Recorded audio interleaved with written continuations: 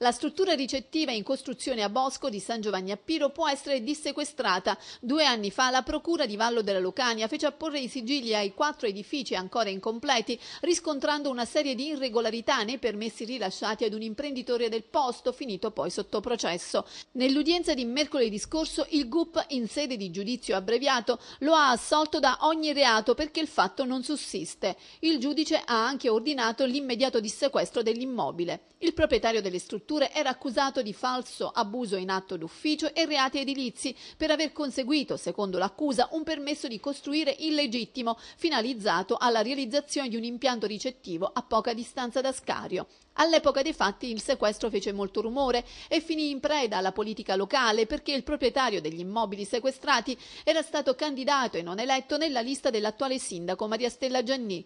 Pienamente soddisfatti della sentenza gli avvocati Vincenzo Speranza e Salvatore Paradiso che ora attendono il deposito entro 60 giorni dei motivi dell'assoluzione.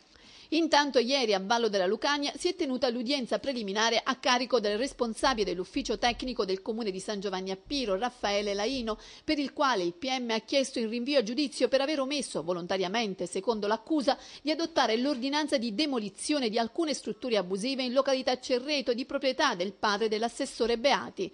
Durante l'udienza i consiglieri di minoranza, Palazzo e Gagliardo, hanno chiesto di costituirsi parte civile, cosa sulla quale il giudice si è riservato di decidere decidere nella prossima seduta fissata al 9 ottobre. Prima di quella data, dunque, il GIP non potrà pronunciarsi nemmeno sulla richiesta del pubblico ministero.